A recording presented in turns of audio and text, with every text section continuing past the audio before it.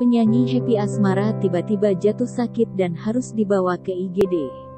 Dalam postingan terbarunya, pelantun lagu Satru itu tampak memperlihatkan potret tangan yang terpasang selang infus. Seorang wanita yang diberitakan sedang dekat dengan Denny Caknan itu mengatakan bahwa dia mengalami sakit empat kali dalam sebulan. Maka dari itu ia mengharapkan banyak doa untuk kesembuhannya. Pemilik nama lengkap Happy Rismanda Hendranata alias Happy Asmara itu sontak membuat warganet resah karena memposting foto sedang di rumah sakit dengan infus di tangannya. Penyanyi berusia 23 tahun itu mengaku harus dilarikan ke rumah sakit dan dibawa ke ruang gawat darurat. Gadis cantik asal Kediri tersebut pun mengeluhkan dirinya sakit sampai empat kali dalam sebulan.